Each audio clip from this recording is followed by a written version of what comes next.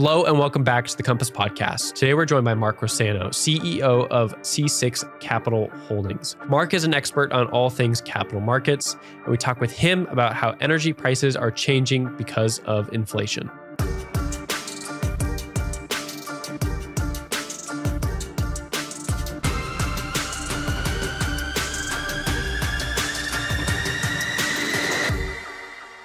Mark, thanks so much for joining us on the Compass podcast. I'm really excited for today's discussion, even though it's not anyone's favorite topic to talk about prices rising, but is really important. And we need to see uh, where things are going, what the expectations are for prices, especially for uh, operationally expenditure, like uh, operationally expensive uh, mm-hmm. Bitcoin miners who are just pulling so much energy. No, it's a pleasure to be on. Thanks for thanks for having me. And it, it was funny when I was doing some of the uh, due diligence before we came on uh, MISO prices, which are just the Midwest prices, which is where we think you know some of the opportunities lie for uh, for Bitcoin mining. They're just going through the roof again, and it's a matter of you know how are they priced, where are they going, and I think that there's definitely a lot to talk about when we start looking at electricity prices, and you know where can they go from here. Definitely, and there's there's a lot of ways to take this conversation, but we'll start off with your background, uh, both in energy markets, finance markets, and then on my understandings, they're also moving quickly into the Bitcoin mining space, helping some firms find energy sources all across the United States. Sure. So I'll, I'll try to keep it brief. I I, I tend to uh, to rant, so I apologize in advance. I, I, have kind of a weird background on how it went. Uh, so I started at Morgan Stanley Investment Management. There, I was uh, my my background was FX rates, commodities. So I did everything from forwards, futures, options, uh, equities. We did some structured products when I was there. So it was great. I loved it. You know, we did everything that uh, I really wanted to do, especially on the commodity front, you know, in terms of owning physical, owning paper, you know, structuring different things around that. Uh, went to go get my MBA. Uh, while I was there, I ended up living in the Middle East for a time, working in Masdar City. Uh, there, we were we were kind of coming up with the balance between short cycle gas turbines, which got me into a lot of natural gas and LNG. Obviously, also natural gas, but just just shipped a little bit differently. And then at the same time, uh, short cycle gas turbines mixed with those solar panels, uh, solar in general, wind and geothermal to kind of kind of marry what is the best mix and and one that doesn't have any interruption. Uh, so did that. Uh, then I left and I uh, ran a portfolio, uh, what what we called or what I named well to wheel. So that was following the hydrocarbon from the wellhead to the end user. I got very annoyed that I, everybody was very siloed, and I was like, well it's all the same product. So why why don't we just kind of flatten the whole thing and understand the process? So I did a lot in downstream chemicals, pet chem, uh, pet chem in general, refining, you know, where things are going in terms of plastics and beyond, as well as obviously E&Ps, oil field services, and the like. Uh, did that, uh, made a call that OPEC was going to go into a price war. Uh, and that was just from context that I had. Went down the uh, the value chain and did a lot in on the fixed income side, doing high yield, distressed debt, taking companies into and out of bankruptcy, you know, restructuring loans, all those uh, fun things. Started my own hedge fund, uh, something very similar. Uh, then my my now middle daughter, she's fine uh, now, but uh, she we found out that she was going to need massive heart surgery at the 36 week uh, sonogram. she ended up going to the hospital. You know, didn't surgeries didn't go well. they told us that she wasn't going to survive the weekend and she did. She's now four, so yay! You know, she's uh, and she's the little monster out of, out of the three of them. Uh, then uh, during that point, I, I had to I turned I shut down the the hedge fund. Well, ended up working at Bloomberg, uh, and then there I was doing commodity strategy, kind of marrying my geopolitical background uh, with with some of the things that I've I did, and then obviously looking at commodities as an aggregate because we did a lot in the past on uh, on ags and ferts. And then when I was looking to come out of Bloomberg, uh, I looked at the market. I was like, you know, I don't really like the way the public markets look. And I think there's a lot of opportunity on the private side.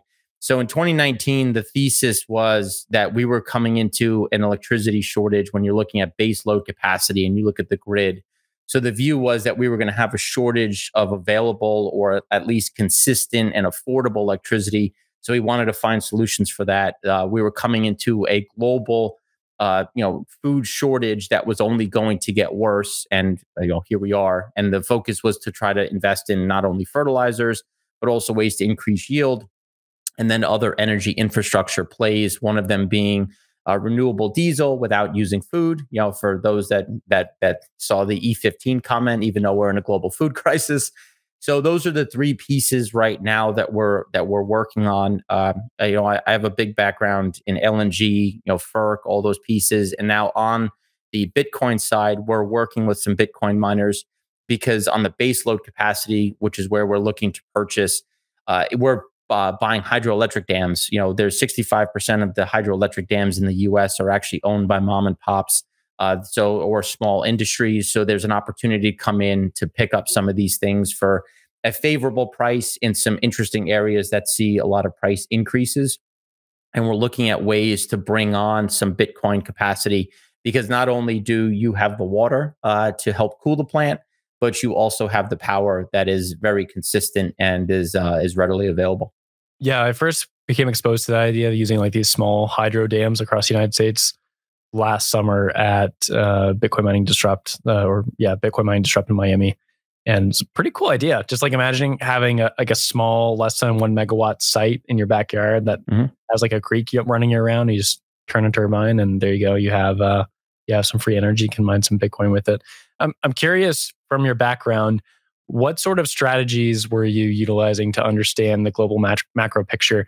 Because there's a lot of people out there who, just to be blunt, are are larps and they're just they they like my macro stuff and then they you know point at a chart and make a decision on prices. But uh, there's obviously so many different ways that you can strategize these things and then deploy capital behind it. And your firm has been successful. You said you worked with Bloomberg on this. So, what are some of the things that you guys were looking at for your firm to be able to make these decisions and make you guys successful? Sure. So, one some of the big things uh, I've always been more of a top-down uh, person. So, the way I look is where is the geo where is the geopolitical structure? You know, are we coming into a, a generational cycle that is going to see more war? Are we going to see you know are we, are we at the tail end of something? So, one of the things that I was concerned about coming into 2020 was that we were coming into a very uh, concerning uh, decade. You know, one of the things that I had written about was that it was going to be a weird amalgamation of the 30s and 70s between hyper and I don't want to call it hyperinflation, but let's just say a double digit inflationary pressures mixed with stagflation and then eventually a deflationary cycle. And within that, there was going to be a lot of unknowns, especially when you start layering in food and all these other pieces. So one of the things is that we look at the top down, you know, where where do we think there's opportunity? Where do we think there's the greatest risk? And then we we look to deploy capital accordingly. So one of the things that we've looked at is really food. Obviously, uh, if you take Maslow's hierarchy, you know you need that safety piece, and then you need food. You need food and water. And if if you don't have either one of those three things, you know that uh, let's just say everything else becomes secondary, if not you know the last on the list. So those are ways that we wanted to look at it and then start to structure that in terms of you know what are some of the friendly countries what are what are countries that are seeing a a, a resurgence like vietnam is one that we've been uh, very uh, positive on. Uh, india is one that we were we were excited about. Now we're starting to to kind of go the other way just in terms of some of the pressures on the inflation front food front. And then when you start looking out you know the us canada are ones that we think is going to see a lot of uh, a lot of growth. And then there is some kind of sneaky opportunity within Eastern Europe.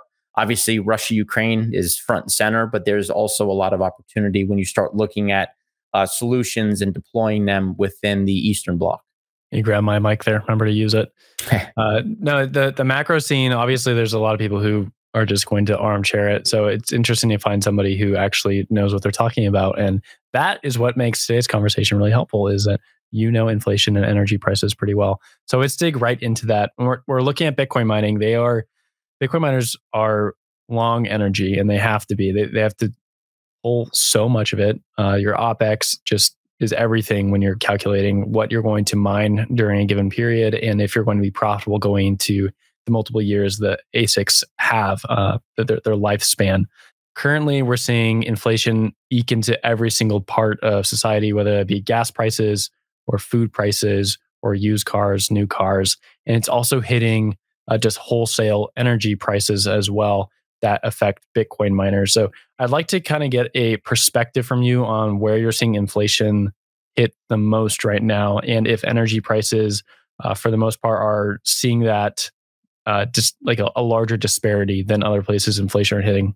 We talked right before the show, natural gas basically has gone parabolic in terms of uh, price for for natural gas. Uh, but there's obviously a lot of other energy sources out there that perhaps are not facing those price headwinds. Sure. So one of the things that you know, my my background is, and uh, my degree was in F, uh, you know, foreign exchange, and when you start looking at FX and rates, you know, they're they're very much together. Sometimes they can kind of fall apart, but that provides some opportunity when they start to to uh, to deviate from their normal uh, spectrum. So when you start looking at the U.S. dollar, you know, what is the dollar doing? Is it getting stronger? Is it getting weaker? You know, what are rates doing? Are they going up? Are they going down? you know, one of the problems that we have right now is we've been in a bond bull market since the since the early 80s. So you're seeing this pretty much a steady decline since Volcker got in front of uh, rates, and then you started to see this come down. Now, after seeing these rates go to to uh, you know obviously as we've seen go negative, what comes next? And that's when you're starting to see the shakeup, and you're starting to see the dollar you know become some of that strength. And the reason why that's so important is because uh, the dollar stands for everything. When you start looking at the reserve currency of the world how things are trading, where things are going from here. So when you start looking at rates, we're it, we're now in a net rate rising cycle. And for most people who are watching this or are you know or or that maybe have started to read about a rate rising cycle, most have never seen it. And now we're coming into one of the most aggressive after really one of the biggest experiments when you look at COVID when everybody was easing and you had fiscal uh, policy getting easier, monetary policy getting easier. But also, all of these issues also gave rise to cryptocurrency because you start looking at fiat and you're like, all right, well, what is fiat actually backed by? Like, what what are we what are we really looking at going forward? But when you start looking at at uh, energy prices, the dollar's still going to be king. The, you know, the dollar's still going to really set the standard because a lot of the producing nations have their currencies pegged to the dollar, and they will always want to transact, or at least for for the most part, transact in dollars. So when you start looking at at where oil prices are, where those flows are, there's that there's that that back and forth between where is supply and where is demand. And right now there's so much geopolitical uncertainty.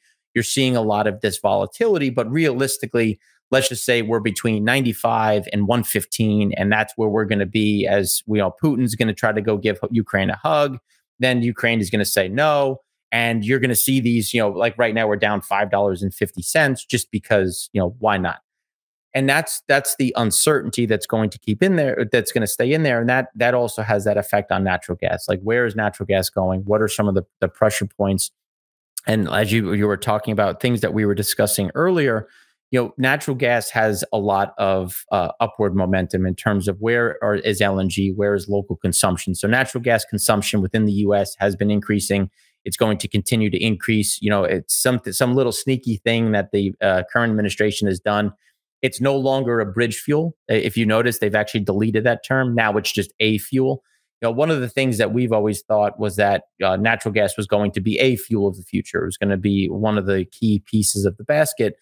But when you start looking at at uh, at Germany and you start looking at Europe in general, they're so reliant on Russian gas, and we've seen it continue to come through. It's still 90 or so MCM a day, so there's still some continuous move, which if you think about that, you know, through the math, it's like so Germany and Europe pays Russia, and then Russia pays Ukraine for the transmitting of gas. And it's like, uh, so Europe is financing Russia's war, and then Russia is financing Ukraine's war against Russia. It's like, got it. That's the world we live in today.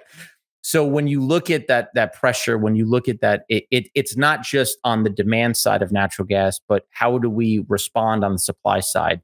And then, like when you were asking about inflation, where are we seeing inflation? Steel prices, labor prices, um, you know, proppant. When you start looking at sand or the lack of sand or availability, all of these things have this knock-on effect, and everybody has to get their margin. You know, where am I going to make my money going forward?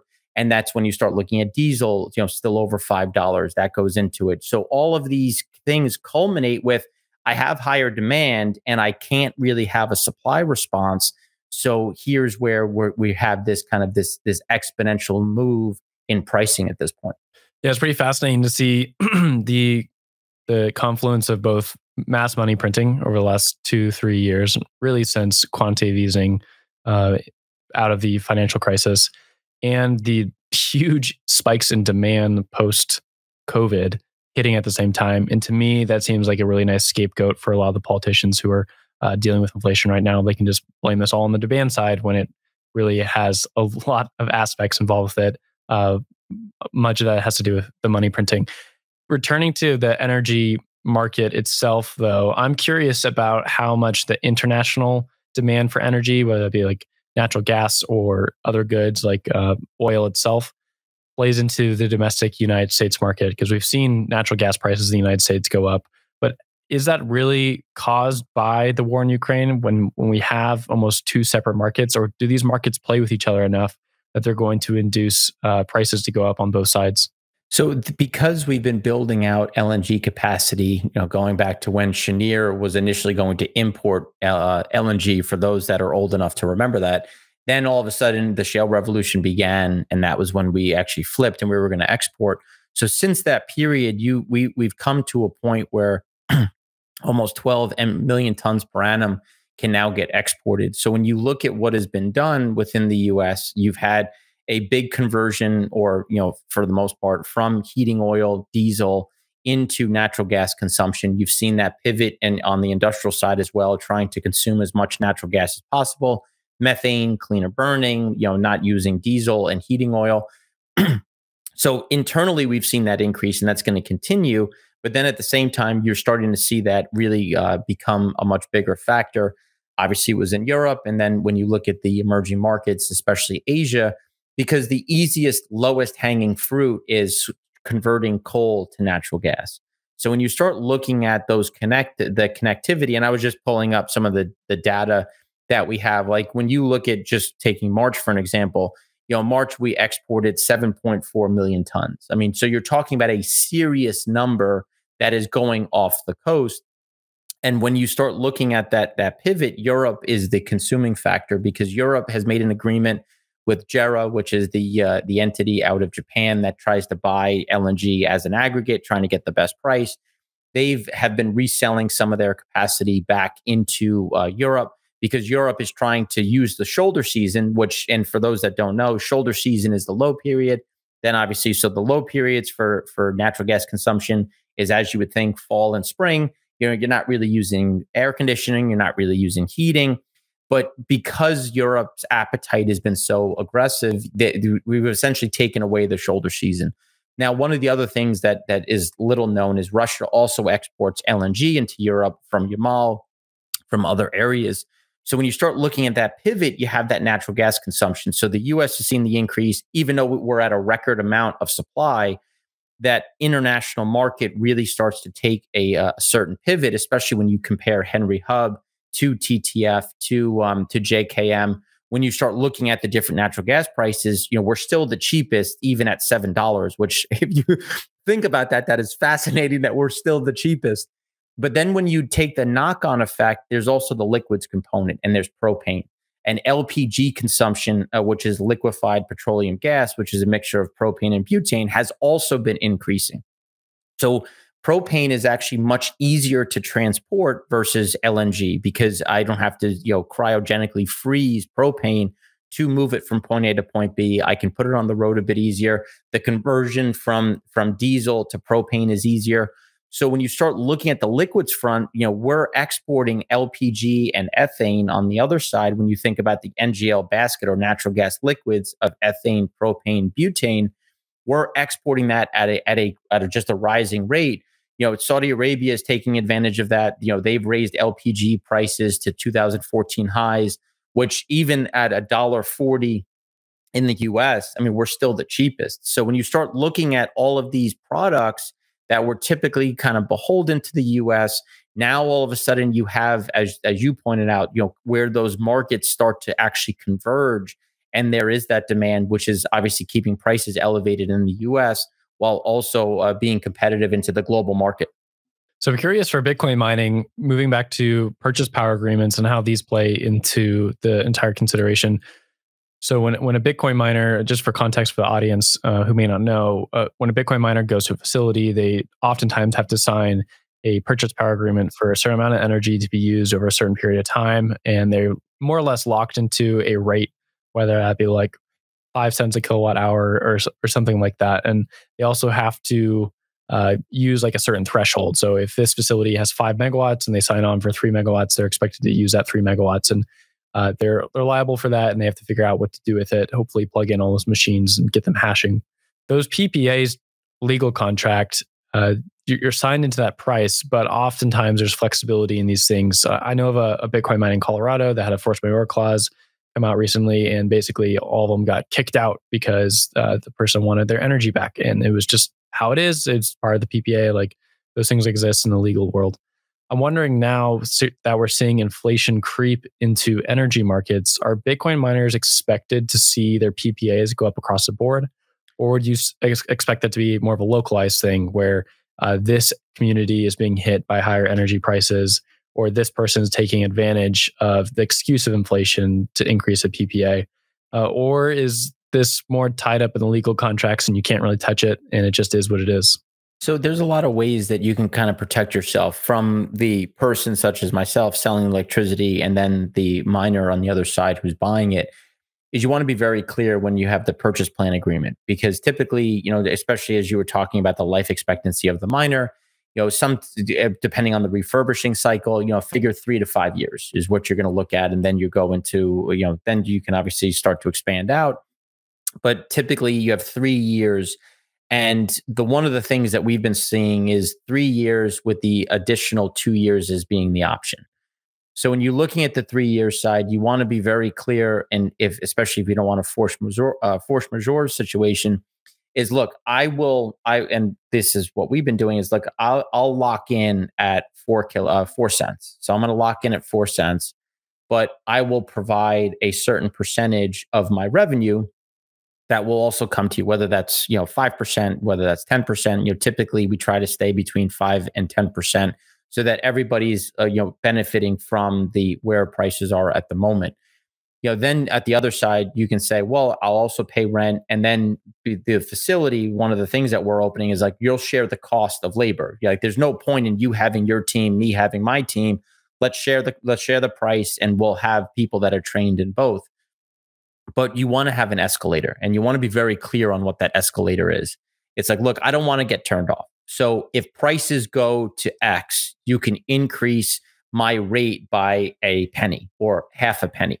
You know, if if rates go to Y, then I'm going to say, all right, well, at that point, that's going to be the cap. And you have to be able to be very clear on where my cap is. And typically, when you're seeing this, you're also getting the benefit of getting some of that revenue from Bitcoin mining. So you still want them as you said, to be hashing, to be to be generating this income.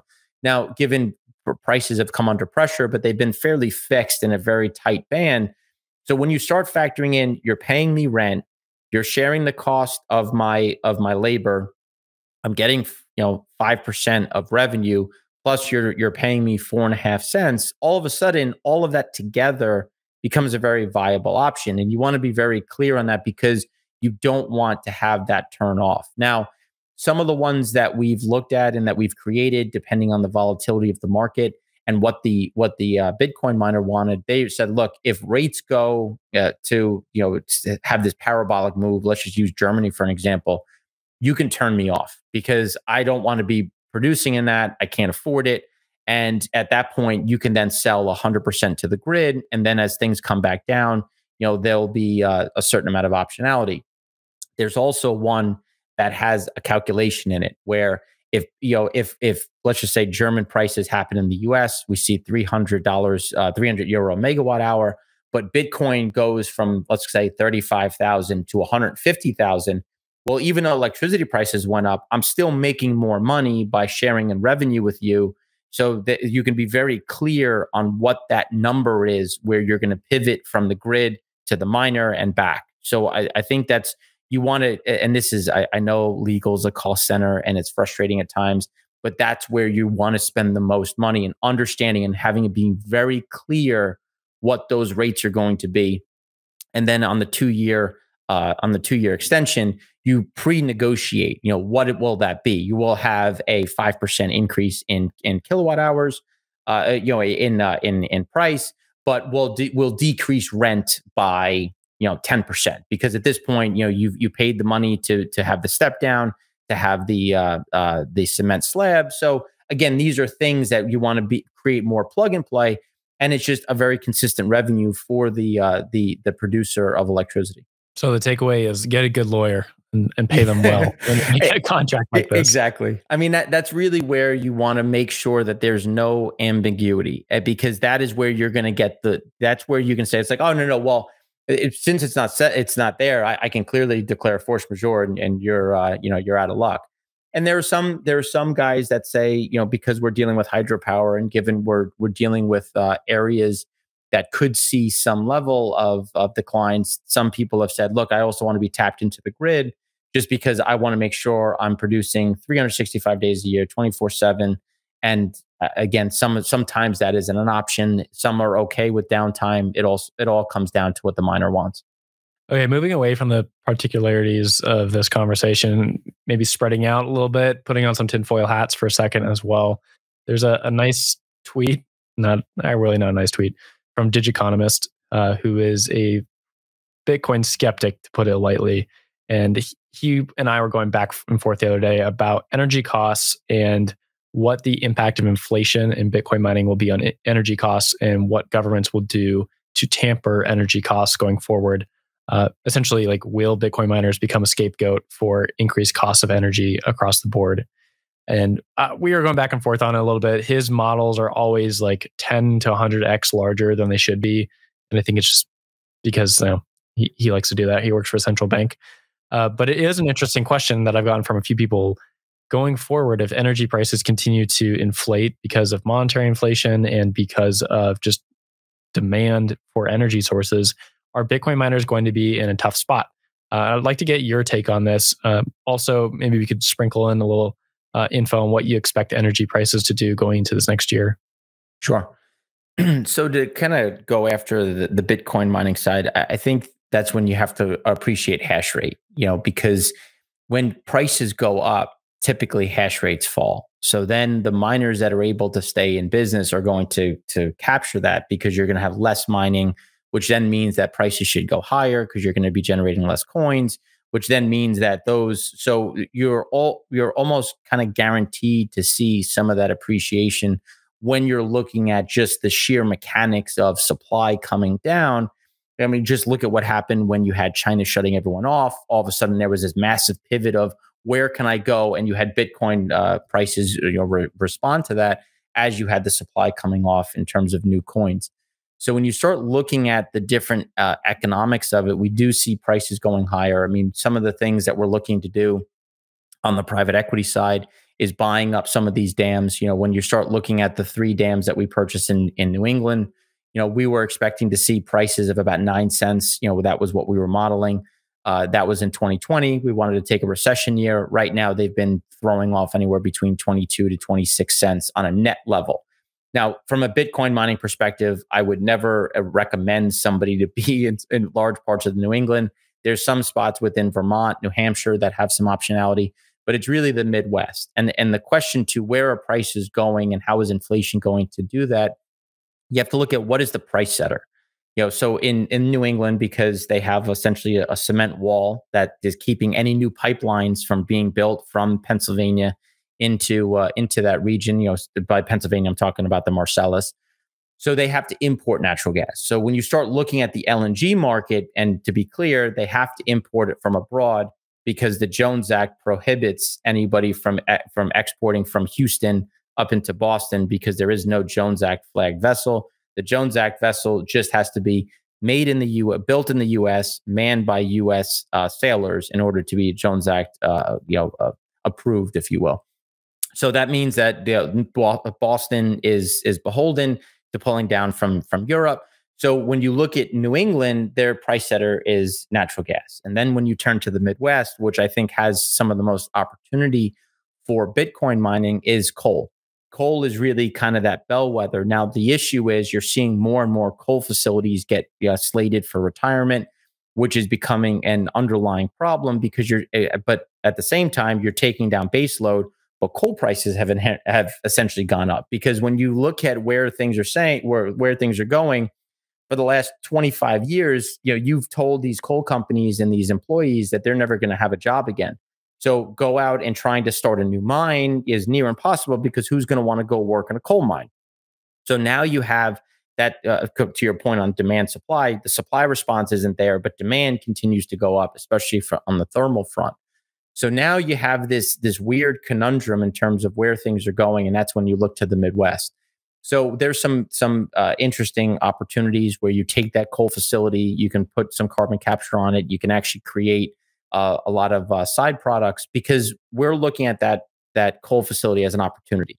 You know, there's an opportunity to make it green. There's an opportunity to actually throw off other, uh, you know, uh, different industrial gases, and also having you know wind and solar next to it, and and having some of that opportunity, and in creating a, essentially this power generating because we need base load capacity, and base load capacity is something that is running 24 seven, which basically is nuke coal and as long as the natural gas facility is built right, natural gas. So those are your three pieces because if the sun's not shining, if the wind's not blowing, and you don't have enough battery capacity, which is very difficult, you have to have a short cycle gas turbine. And as we saw in Texas and ERCOT, there are times when short cycle gas turbines can't turn on, and that's when you start to get these big, um, this big backdrop. But from the mining side, you know, we see some of that opportunity in the stranded gas that you're seeing in Texas, that you're seeing in parts of Oklahoma, where it makes sense because I can't get it to market. So it's just going to sit there. So let's bring in some of this Bitcoin mining. The other problems are of, and and I think some of the Bitcoin miners are finding out the the hard way. It's a bit warm in Texas. It gets a little hot, and uh, the cooling costs start to add up which is why if you go further north, you have a certain amount of opportunity. And then when you're looking at the dams, you know, you can pull water off of it. So again, there's uh, there's a lot of these opportunities, but I think this this pivot is going to really move where Bitcoin miners are, but also take some of this hash rate off, which I should I think should also support pricing at this point. Yeah, hash rate going down might help uh, some people's projections a little bit this year because there's definitely a lot of hash rate supposed to go online, mm-hmm. at least from uh, manufacturer orders. So we only have about 10 minutes left, and I want to talk about uh, where we're going next, expectations for next year, like stagflation and mm-hmm. whatnot. Mm-hmm. But before that, I want to get a quick word in about demand and the uh, basically the demand for energy. Like, can all these energy producers in the United States get online quick enough to meet the demand uh, that people are expecting? Now, obviously, we had that headline the other day from the Biden administration that was putting out more oil reserves. And that did basically nothing for the market. And most people in the oil and gas markets were like, okay, you're releasing these reserves. This is only a temporary measure. It's not going to help anything out. Gas prices, from my understanding, didn't really respond to it.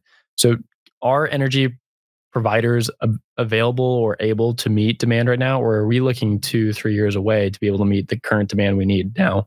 The, the issue right right here is it's it's very difficult because when you look at so one of the shows that that we have on the uh, on the Primary Vision Network on YouTube is the frac spread count because you you need you know everyone likes to talk about rigs and don't get me wrong rigs are important. You have to poke holes but the frac spread actually turns it into production. That's when you're going in you're fracking you're opening up the well and you're tying it in.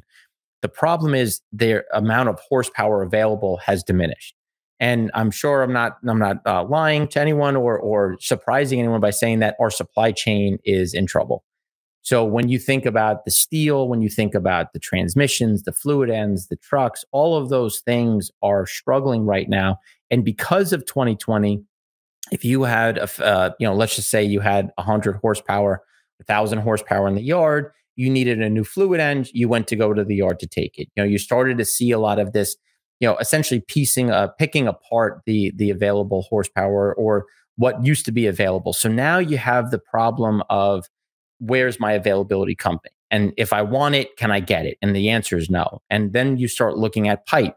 Can i get pipe? And the the, uh, the pipe guys are like look if you get in the queue. You know i'm not going to thread it because uh because pipes have to be threaded going into the into the oil patch once the pipe comes in, I'll then thread it for you. So it's three months waiting for for pipe. Then it's another six weeks to to wait for it to get threaded. Next thing you know, it's four and a half months later, and I'm finally getting my pipe showing up. So you have these these built-in bottlenecks. Then when you look at some of the uh, the capacity where you know people have talked about Biden saying, "Oh well, look at what he did on on the uh, on permits." It's like, okay, well, if you permit me and allow me to drill it, but then you hinder my ability to build the new tiebacks or little pipelines to the pipe it, it's still useless. I'm, I'm not going to truck this. So I'm just going to let it sit folly and just let it sit in general. So when you look at the backlog, it, it's really in order to, to see that demand response, it's really that 18 to two years out because uh, to 18 months to two years out, because you're not going to see that response. Now, the other problem is obviously the supply side. You know, typical uh, economics, supply uh, is short, prices go up, demand comes down. And when you look at what is happening internationally, you have emerging markets that are still providing subsidies for petrol and for food. At my opinion, they're going to have to choose and they'll choose food over fuel. And you're starting to see that come back and forth. And as you see that balance, that's where you see that pressure come down because people have to make decisions. You know, one of the things that you had asked that I, I failed to, uh, to, to address was inflation. You know, where's inflation going? And that's only going to keep things worse because when you look at pricing, and this is again going outside of just oil when you look at commodities in general that zinc aluminum copper all of these things are have are below 1997 storage levels so you're looking at an inherent shortfall and yes russia is a gigantic producer russia has to dump oil into the market. They they have no choice. They have to sell at any price possible because they can't risk shutting in because they don't know if they can bring it back on. But it's not just oil they produce. It's you know the alumina that they import to export aluminum. It's the zinc. It's the um, it's the iron ore that they send into germany.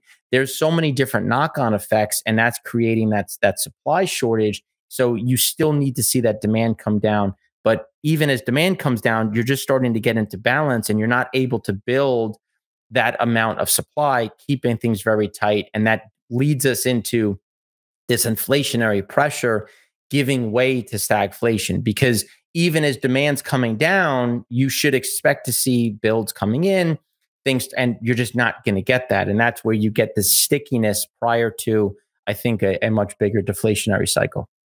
Yeah, the CPI numbers uh, were really interesting last week 8.5%, highest in 40 years. And there were some interesting notes within that as well.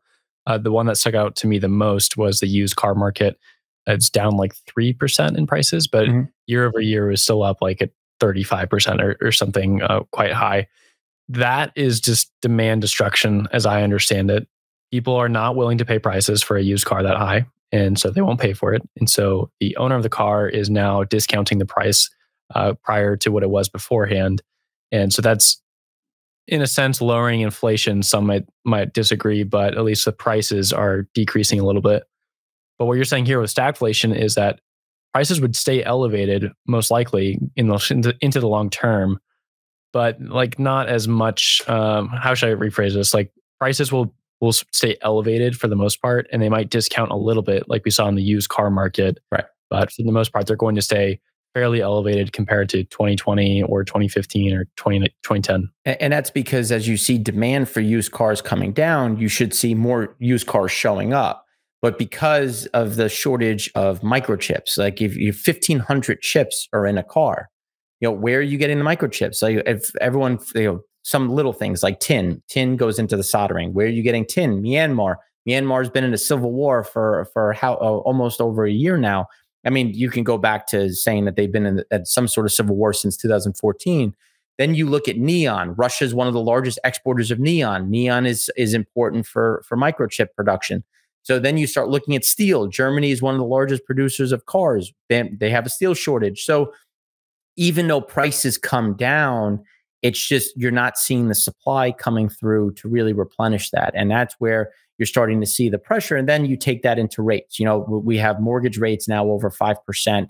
And if the cost of owning it goes up, like if you bought a car in 2020, as as I was lucky enough to before a woman decided to uh, tempt fate and cross traffic without looking.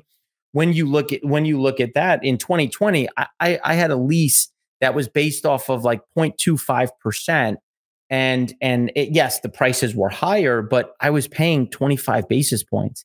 Now I was lucky because I locked in a rate at 2.49 percent. And if you were to go do that right now, it's over three percent. You know, uh, the the financial, uh, you know, just for I, I, am a German snob, I love German cars. So the, the BMW that I was getting, I mean, BMW Financial was over four and a quarter. So that also kind of brings the prices down because if the cost to me goes up, well, then prices have to balance. And that's always going to also decrease because it's like, all right, I, I can, you know, when BMW was charging me a quarter percent and I was paying 599 a month, now I'm paying over 1100. Well, what's Honda charging? What is, what is Ford charging? And that's when you start to see that creep. And that's when you start looking at inflation on replacement cost. Because if you know inflation really starts to go parabolic when I I go down in in uh, in quality. So when you look at uh, big box stores, BJ's, Costco, Sam's Club, those memberships are are exploding because it's like, look, I can't afford Whole Foods. You know, I can maybe afford the local food store, but I, I'm going to have to buy in bulk. And once you buy in bulk, where are you going next? Outside of I have to cut. You know, it's like I, I only buy name brand because I'm a name brand snob. It's like, well, the name brand is kind of expensive. I'm going to go generic. And then once the generic prices go up, it's like, well, wh- where else? Where else do I go now? And as you go down that scale, that's when you start to see that inflation come up. And once you can no longer finance your current living standards, even at generic prices, that's when you start to see that demand destruction. That's when you start to see things really tighten up of, I can't go out to eat this week. Uh, you know, I can't drive to Disney, Six Flags, what, what have you. I have to stay home because I just can't afford it. Yeah, I feel like I'm living out my macro 101 classes from college and in real life talk about like supplement goods and demand destruction and whatnot. Mark, I really want to thank you for coming on the Compass podcast and talking about energy prices and inflation. This has been a really helpful episode. I think a lot of our listeners and Bitcoin miners out there are going to find this useful. Well, I appreciate it. If you want me to have come back on and, and rant about where oh, things oh, yeah. are, happy to do so.